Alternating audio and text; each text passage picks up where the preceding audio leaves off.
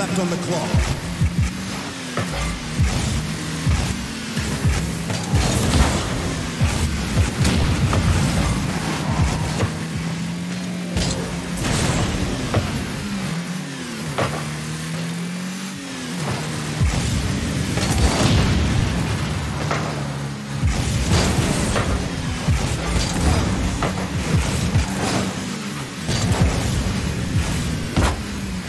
Thirty seconds left on the clock.